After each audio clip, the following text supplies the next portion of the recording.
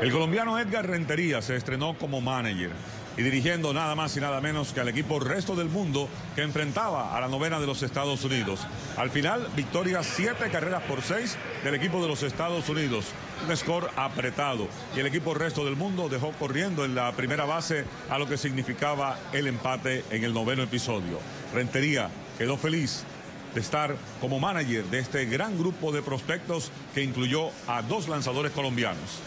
¿Qué piensa ¿Qué le deja este, este sabor de haber sido manager de todos estos jóvenes prospectos? No, buena experiencia, muy buena experiencia.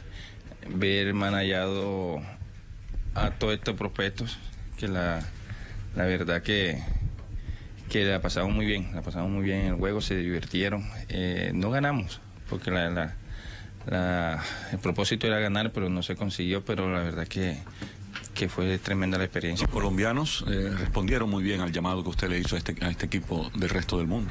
Los dos tremendos. Escobar pichó un inning completo. Eh, Guerrero pichó dos tercios porque nos quedaba un, otro pitcher en el bullpen y teníamos que ponerlo a pichar también. Pero la verdad que estoy muy contento con el trabajo que hicieron y, y para mí está Guerrero está listo para cuando le hagan el llamado a las grandes ligas.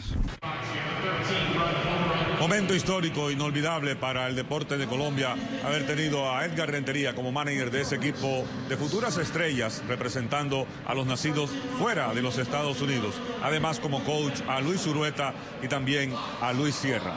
Con la cámara de Giovanni Cassiani, desde el Manlis Park de Miami, Orlando Palma Vizcaíno para Win Noticias.